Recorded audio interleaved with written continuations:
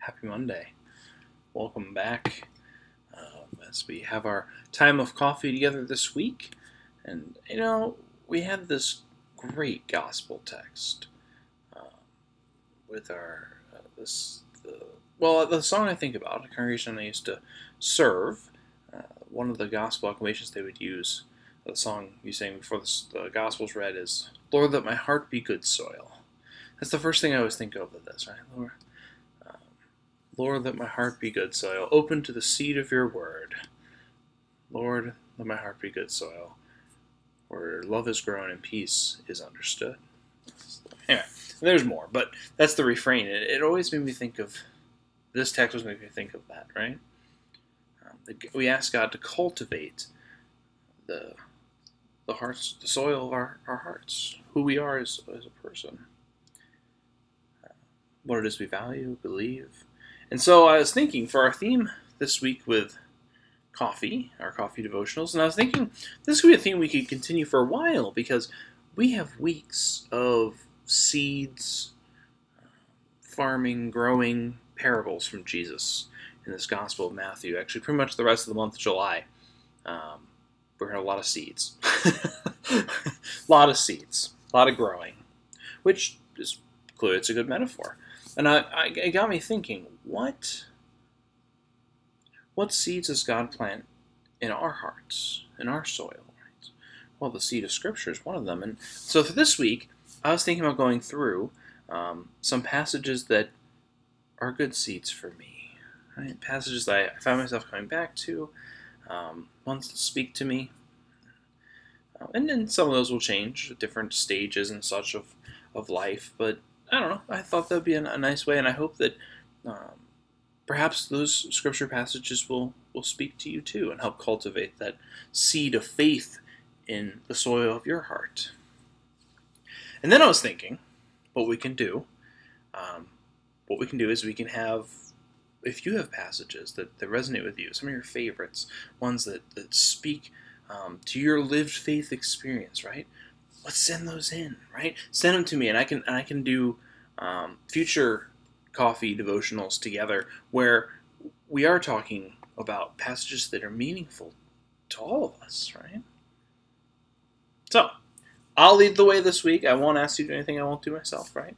Um, I'll lead the way this week with four additional passages. Now, granted, whittling it down to four, I think you'll come to find it's hard. Um, so the four that I fancy at the moment that I think we haven't really covered too fully during this time. I mean, there might have been a video at some point. It's hard. We have hundreds of them now. But anyway, um, I think that there are four that are good right now that are speaking to me in this moment, right? Um, so yeah, I, if you have one, if you have multiple, send them my way. But in the meantime, well, you were working on it, thinking about it, praying on it, reflecting. What what are the, the what are some parts of God's scripture that, that speak to my heart? Um, you know, I I start with this one, this text from yesterday.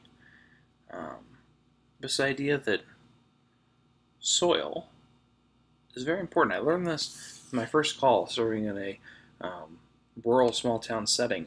I guess I knew, you know, from biology or class or, you know, elementary school growing up, put the seed in the ground, you give it water, sunshine, you know, makes it happy, blah, blah, blah, weed around it. I didn't realize how important soil was. Illinois has been blessed with beautiful, uh, fertile soil. it puts a perspective on it that even though God plants the seed of faith, what kind of soil are we um, what kind of soil do we you know does our lived life reflect? Are we living a life where the seed of faith can thrive? Or are there things that are choking it out? Are there things that are fighting for the, the water and the sunshine the nutrition from that that seed right? Um, can our soils change over time? Absolutely. I think that's the part of the, the, the text that gets missed a lot and that's why it's kind of resonating with me right now. Or eh, just because you have rocky soil now doesn't mean you can't have fertile soil later.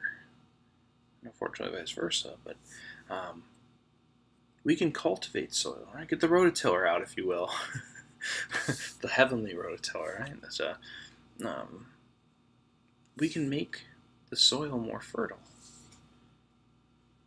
God can make the soil more fertile. Uh, we're not set, uh, and, and I don't think Jesus' words are meant to be we're set in, in this soil or that, and that's it. Life's a journey. Face a journey. Soil can get better. There's room for growth. I think there's a reason Jesus keeps coming back to these themes of growth, of God nurturing, right? God is, actively part of this process. We're actively part of this process. It's the soil. Together we grow. Anyway, so that'll start us off this week. Um, tune in for the other four days of devotional, and I'll have a little devotional for us and some of my uh, texts that are resonating with me right now. Lord, let my heart be good soil.